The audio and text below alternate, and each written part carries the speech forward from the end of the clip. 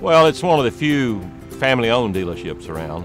Uh, we've been here 43 years. I have been here 43 years. The family's been here since 1929. We've been open since 1929.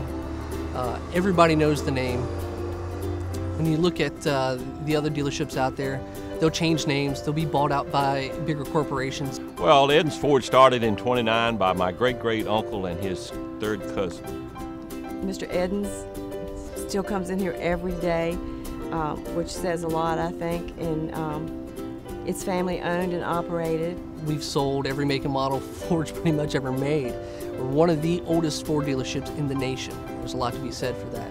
I think that's important, and I think it's that continuity that's kept it here for, what, 1929, I think is when the dealership opened.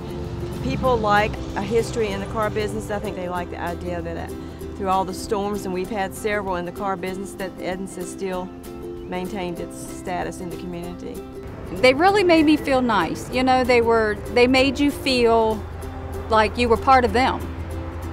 I've worked at quite a few dealerships before and things are so much different here. Just based on the fact that the environment is literally a family environment. Our customers we treat like family. Um, we have more repeat business than I've ever seen at any dealership before. There is a very low tolerance for pressure here.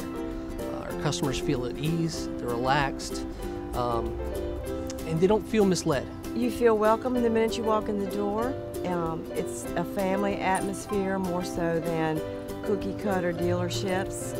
They address your needs, uh, your wants as well. We do everything we can to get you in the car that best suits your needs and with a payment that makes it fun to own. David Wiley Davis, and I buy my cars at Eddins and nowhere else because of the service, you cannot beat it. Service here, I, have never experienced a service department like it.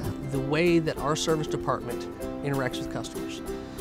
Um, we have people that don't have the time to bring their cars in because of where we're located. Uh, and they have the ability to take them to other dealers that are closer to them. But we will actually go and pick up their car and bring it here because they want to do business here. And then we'll bring it back. So, taking care of their automobile, taking care of them as a customer and doing it in a friendly, helpful manner is so important.